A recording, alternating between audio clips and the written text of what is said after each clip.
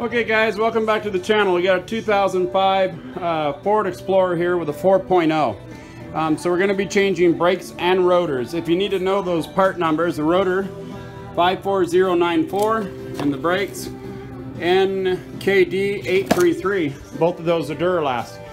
So we're going to start off by removing the cap on the brake cylinder, on the master cylinder. And that's because when we push this back, this cylinder, we're going to be pushing the fluid back up into the chamber forcing the air out that direction. That guarantees all of the air is out and we won't have to bleed these brakes. So the tools we'll be using, flathead screwdriver, that's to pull your hubcap off before you get your tire off.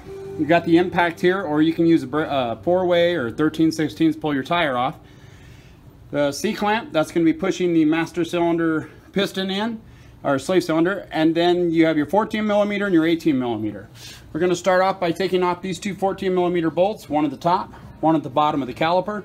The 18 millimeter will be for the second set of two bolts on the back side to release this side of the caliper. It's a two-piece caliper, so we're going to pull the front off first.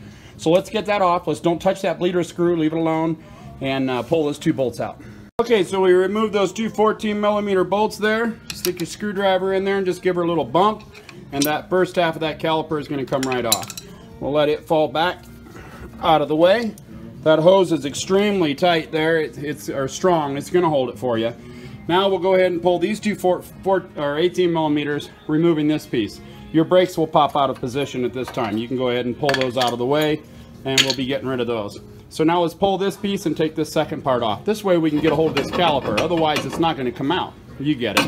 All right, let me pull those. Okay, now that we have both those bolts out, we're going to go ahead and just set that aside. That's our back piece that we were talking about. Some of the shoes come with the new clips, some do not, so don't pull these off until you know and you've opened your box and see that the new clips are in there. Some don't need to be replaced, so they don't come with them. At this point, just grab your rotor, take it off, set it aside, let's set the new one on there. Okay, so we set the new rotor up there. Now we can go ahead and put this back piece back on, and let's throw those two bolts on. Okay, so here is our old caliper. Now what you're gonna do is you're going to take one of those old brake shoes, you're going to sit it in there backwards, just like that. Then we're going to squeeze this together right here, nice and slow, because if you go quick, you're going to overflow that master cylinder up there with fluid. And uh, this is one of the reasons why we don't top off that master cylinder until the job is done.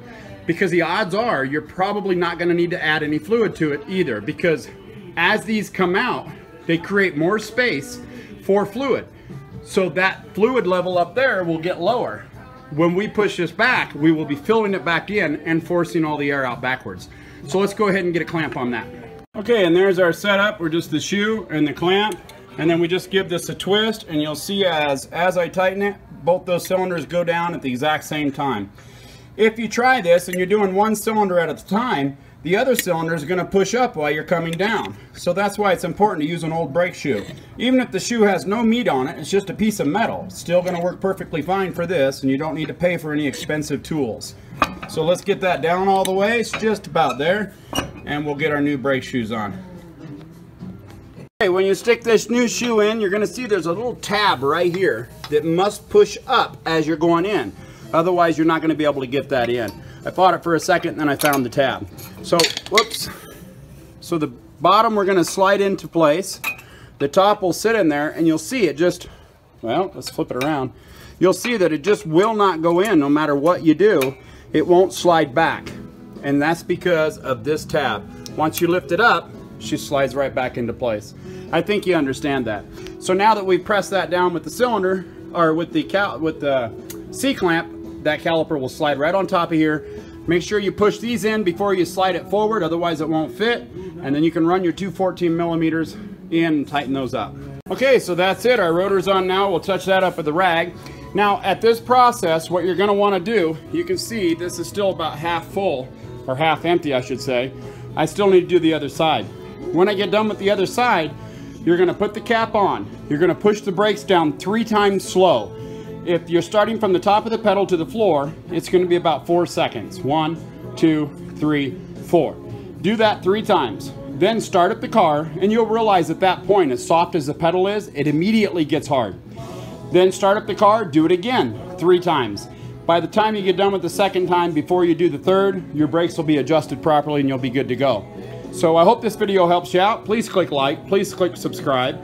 Click on my name underneath this video for all my other how-to videos. And as always, guys, enjoy.